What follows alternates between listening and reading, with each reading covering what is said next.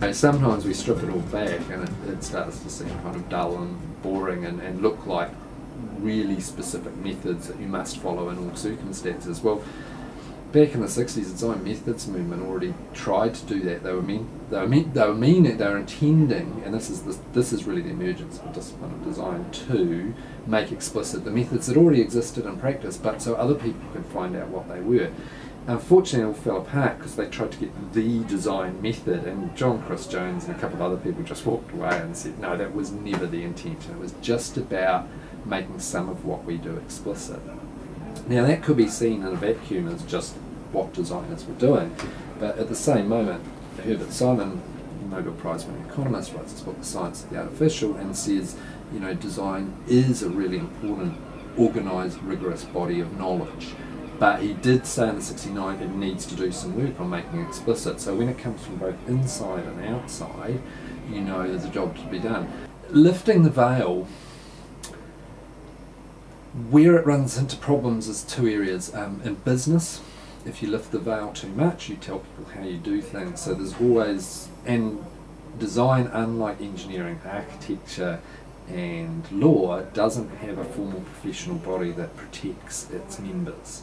So there's always been a degree to which designers in professional practice have protected their tacit knowledge because if they tell people then all their competitors are going to do the same thing.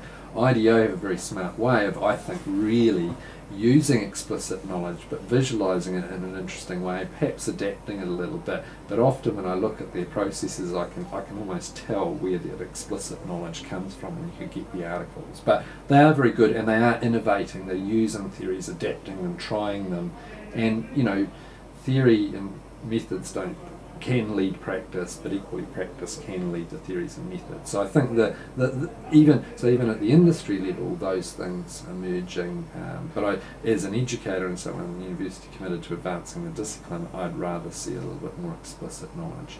I think that's why businesses bought it because they, they sort of know what they're getting. They they get oh, there's all these tools, you know and oh look, they're all laid out in cards, and oh look, they relate it to a map, and that to me is business language in a sense, but it's also something I think the design community should be able to do a little bit more elegantly. Um, I, I, think they flail around a lot. Um, IDEO are sort of profligate borrowers and you know of of other disciplines tactics and then representing them as this design process. But they neglect to mention they've got teams of you know very experienced anthropologists who do all this, and you know, I think it's been sold as a, a, a quite dirty way of, of of actually focusing on the user, and it does keep the user at the centre of the process. I think that's very good, but it can be an excuse uh, for for what I'd call superficial observation. Um, so yeah, what IDEO do is they're trying to put forward an open source method, but um, they don't they don't give away their secrets. You know, is that well, what actually do they do? And really, the secrets are in the insights and the intelligence of the people involved in the process, and the experience of those people. It's not it's not the process per se. I mean, I think it gives from education, if that was your question, then it's very interesting that those methods are given rather than saying, here's a design project, go and do it, you know, which is what the full immersion schools would do 10 years ago, 15 years ago. Um, but slowly all this methodology is seeping in. And yet what I do like about um, yeah, IDEO is that they're just saying, like, there are all these tools match these tools to the context. So you, there's still this magic of deciding what sort of model you're going to use, or um, it's not a process that's appropriate to every situation, and that the designerly thinking is, is adapting the process to the context, I think. Yeah, I think that's how see it.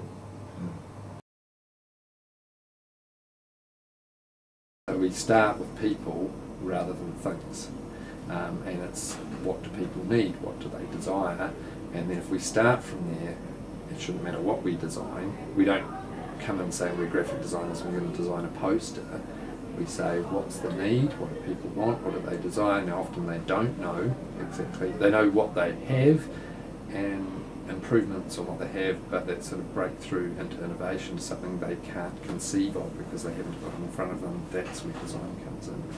I've always talked about difference between um, yeah, consumer applied science, consumer focus, that's very narrow in terms of the people who purchase things. User centered broadens it out to all the users, not just necessarily the people involved in the financial transaction. Human centered is about people at its broadest sense. The two key aspects I thought out of Scandinavian design, which was co design and participatory design. Now, there's a bit of debate about what the difference is, but I think I, I see co design as a higher level and participatory as a secondary. Participatory means you bring the users into the process and they inform the design, um, but they may not actually design it. Co-design, they are there right from the start designing for it. Now that might seem abstract, but when I talk to someone from Scott Technology who tells me he's designing robotic welders, and he says, oh, we've started bringing our clients in because they're small scale manufacturers and we produce these for all sorts of companies, but they have to run them and maintain them.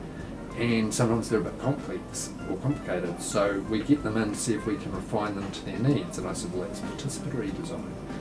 Oh, is it good? Yeah, but they were doing it already. And then I said, and he said, but increasingly we've been thinking about getting them in to design new products and actually, you know, specifically for their needs. That that would be hard for them because they're not a big manufacturer like Danfoss that funded the Denmark University. But he said, you know, and I said, well, that's co-design